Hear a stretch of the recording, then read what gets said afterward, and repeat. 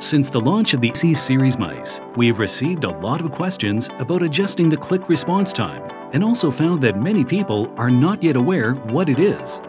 On social media, some people are asking how to adjust and confirm the adjustment, while others are asking what difference the various click response time makes. So, today we are going to share with you how the click response time can affect gameplay and how to adjust it.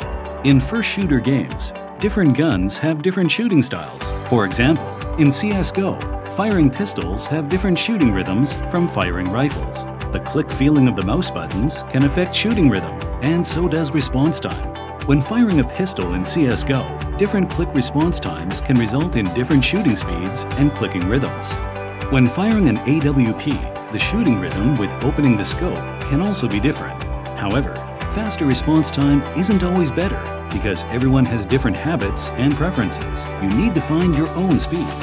How to adjust click response time. To adjust click response time of your mouse, first unplug the mouse from the USB port. To set a fast response time, plug the mouse into the computer while pressing and holding button 4 of your mouse. The DPI turns blue when the setup is completed.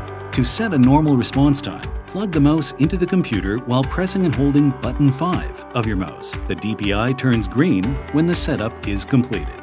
Thanks for watching. Please DM us if you have any questions.